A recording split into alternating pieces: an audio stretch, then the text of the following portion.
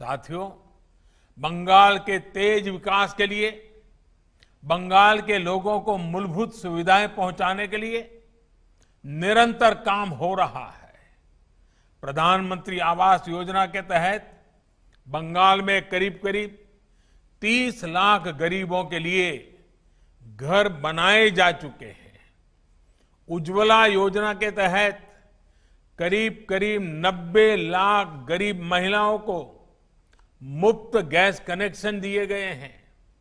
प्रधानमंत्री जनधन योजना के ज़रिए बंगाल के लगभग चार करोड़ गरीबों के बैंक खाते खोले गए हैं। इतना ही नहीं, जल जीवन मिशन योजना के ज़रिए बंगाल के लगभग चार लाख घरों में पाइप से साफ़ पानी पहुंचाना का काम हुआ है।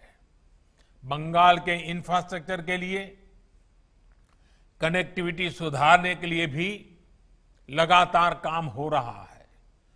कोलकाता में ईस्ट वेस्ट मेट्रो कॉरिडोर परियोजना के लिए भी साढ़े आठ हज़ार करोड़ रुपए मंजूर किए गए हैं। नेपाल, भारत और बांग्लादेश के बीच संपर्क बढ़ाने के लिए सैकड़ों करोड़ रुपए की लागत से सड़क परियोजना पर कार्य चल रहा है।